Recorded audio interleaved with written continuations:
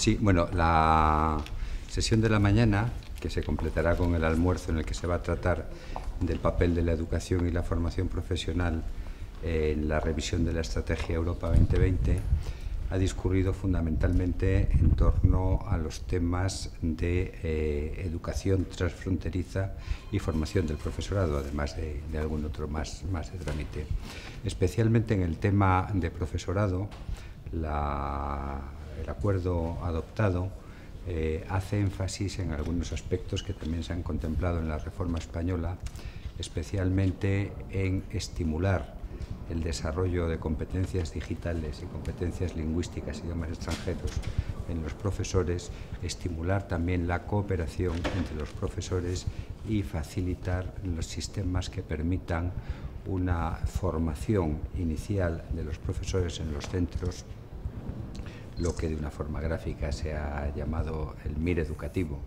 Es decir, que los distintos sistemas, siendo como son sistemas nacionales de selección y de formación, hagan énfasis, eh, a través también incluso de estrategias de cooperación reforzada, en esa formación en los propios centros. En definitiva, se trata de que los docentes, en un entorno de cambio en la forma de enseñar y de aprender como el que está teniendo lugar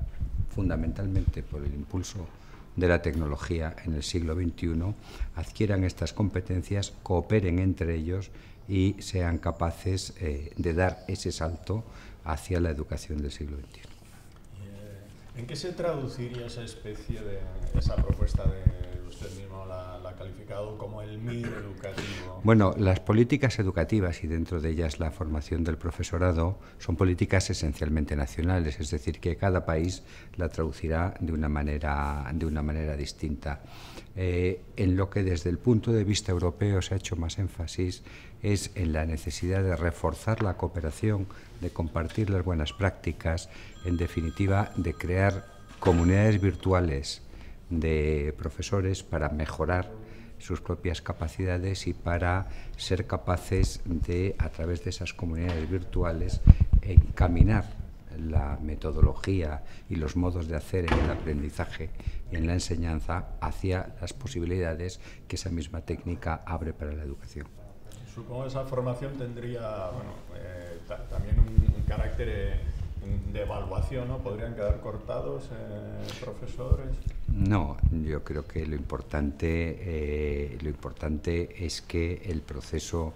eh, que para su desarrollo profesional tiene que seguir hoy un profesor, como muchos otros profesionales, es un proceso que también incluye el desarrollar su propia capacidad para eh, seguirse formando a todo lo largo de la vida. Es decir, los estudiantes van a tener que seguir en un proceso de aprendizaje a lo largo de la vida y los profesores, lógicamente, no pueden ser ajenos a ese proceso. Ahora, en lo que se refiere a lo que gráficamente se ha denominado como el MIR educativo,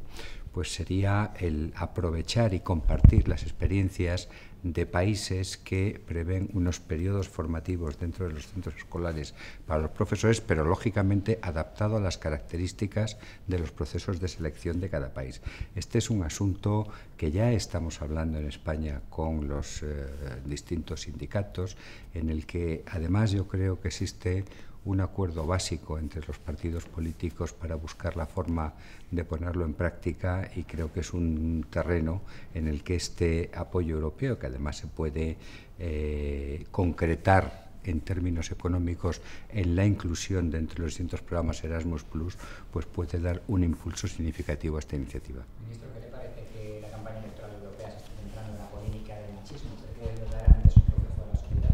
No, yo creo que la campaña europea se tiene que centrar en, las cuestiones europeas y, de hecho, más allá de lo que puedan ser, en fin, eh, polémicas eh, puntuales que siempre surgen en todas las campañas, los problemas de la construcción europea y la respuesta europea a los desafíos globales van, desde luego, mucho más allá de ese tema. ¿Pero qué le parece el hecho de que los socialistas sí que están intentando promover un poco el apoyo del resto de compañeros a nivel europeo para incidir un poco en este tema y meterlo más en campaña?